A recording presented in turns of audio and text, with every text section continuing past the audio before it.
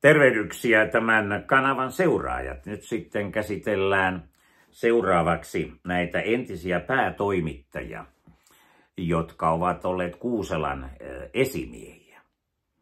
Ja puhutaan siis näistä Kuuselan fiktiivisistä jutuista, että osa näistä hänen jutuistaan on fiktiivisiä, jopa niistä, joista hänet on palkittu korkealla palkinnolla Bonnierin palkinto, journalistipalkinto on yksi, josta hän sai 7500 euroa.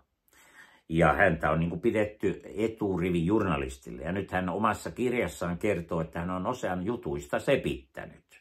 Ja niitä nyt sitten 551 on poistettu aamulehdestä ja ulkopuolinen selvittäjä on valittu, joka selvittelisi, mikä on fiktiivistä, mikä ei. Ja on todettu, että kun siellä on myöskin kuolleiden henkilöiden haastatteluja, joista ei ole mitään varmuutta, että niitä oikeasti on tapahtunut, tai ainakaan, että ne on tapahtunut niin kuin hän kertoo, eh, koska siinäkin on näissä hänen jutuissaan tulee ero, että hän jonkun eri henkilön kanssa eh, tuota, käynyt puhelinkeskustelun, sitten hän väittääkin oven suussa keskustelleen, ja ne ei nyt kuolleelta päästä kysymään, että mitä he oikeasti ovat sanoneet. Tämä tuntuu olevan tämä Kuuselalla aika lennokas tämä ote ollut. Mutta se on laajasti kaikissa journalistipiireissä, kaikissa lehdissä tuomittu tämä menettely.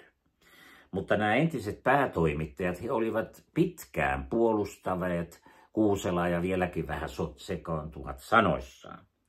Eli Aamulehden entinen vastaava päätoimittaja Jouko Jokinen, joka on siis nyt Ylen päätoimittaja, sekä Aamulehden entinen päätoimittaja Matti Apunen ovat puolustaneet Kuuselaa julkisesti ja arvostelleet Aamulehden päätöstä poistaa Kuuselan artikkelit.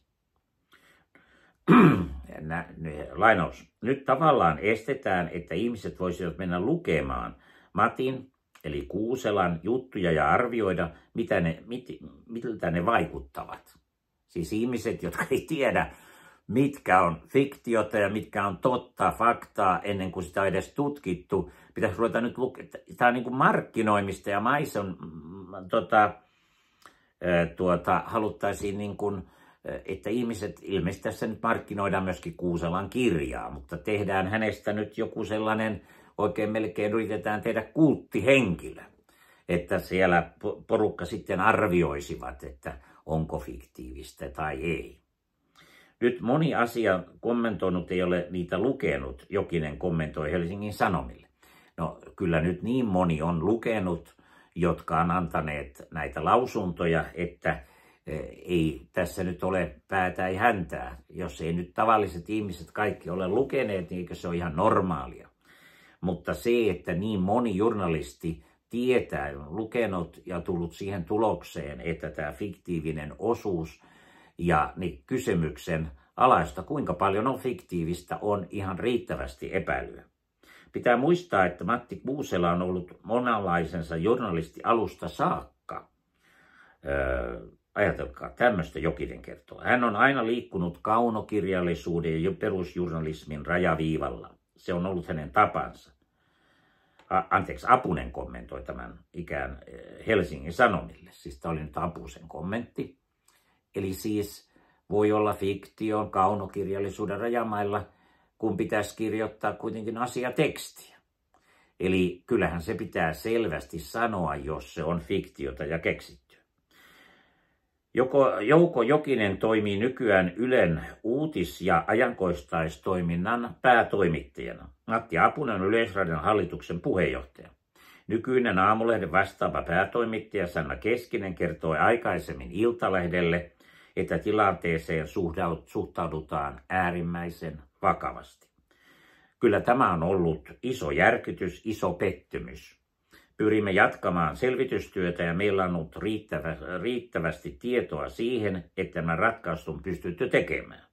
Eli ne perustuu riittävään tietoon, että se 551 artikkelia on poistettu, kunnes selvitetään siltä osin, kun enää pystytään selvittämään, mikä on faktaa ja mikä fiktiota. Mutta onko, onko tämä niin kuin jonkinlainen enemmänkin tapu tai tämmöinen, että apu, josta ei ole puhuttu. Onko Apunen ja, ja Kovanen aikanaan päätoimittajana sallineet enemmänkin tällaista, että esitetään ikään kuin tosiasiana jotakin, joka on vain selitettyä. Tämä on hyvin mielenkiintoinen kysymys ja se olisi varmaan selvittämisen arvoinen. Kysymys on luottamuksesta mediaan ja journalismiin. Ja tällainen kyllä sitä nakertaa. Ja sellainen, mitä on nyt monetkin esittäneet, ihan siis merkittävissä asemassa olevat journalistit, tuota, tässä oli entinen päätoimittajakin, joka oli sitä mieltä, tuota, ja siis ja toimituksista siellä Ylelläkin tavallinen tuota, toimittajat ja esihenkilötkin kaikki olivat olleet aivan pöyristyneitä tämän kovasen käytöksestä ja puheista. Niin joka tapauksessa yhä enemmän on ollut tämmöisiä äänenpainoja, että tämä Kovanen ja Apunen pitäisi antaa potkut. Apusta on muutenkin ihmetelty hänen toimintaansa ja kommenttiansa. Ja nyt tämä Kovanen, Kovasen käytös myös. Mitä se oikein kertoo? Ja puhutaan siitä, että Apunen ja Kovanen muodostavat melkoisen vallankäytön tuota, siellä, että heillä pitäisi olla myöskin vastuuta. Ja nyt jos tämmöinen juttu, että he on olleet päätoimittaja, niin eihän se pelkkä Kuusela voi olla vastuussa. Kai se nyt esimiestenkin pitää tietää. Ja kaikki, mitä he nyt siis aluksi sanoi, antoi sen käsityksen, että he tiesivät, että siellä on sepitettyä joka tapauksessa, että on liikutaan kaunokirjallisuuden ja fiktion rajamailla ja jotakin sellaista. Ja tosiaan siinä on varmasti ollut rahasta kysymys. Tämä Kuusela on ollut hyvin suosittu journalisti ja tuonut lehdille varmasti paljon rahaa ja on paljon ihmisiä, jotka ovat innokkaasti lukeneet hänen artikkeliaan. Mutta nyt tässä on kysymys paljon syvällisemmästä asiasta, että mikä on Suomen journalismin tila. Miten nämä valtamedian lehdet, mikä on faktaa, mikä on fiktiota, onko esimerkiksi yksipuolisuutta näissä jutuissa. Ja pitäisikö oikein kunnolla tarkastella ja kehittää tätä järjestelmää. Erityisesti Ylellähän pitäisi olla niin, että sen pitäisi olla tasapuolinen kaikessa tiedon välityksessä. Ja sehän ihmetyttää, että miksi sillä ei ole yleensä, jos on joku ristiriitatilanne, niin hyvin harvoin mitään tulee toisen osapuolen näkemyksiä.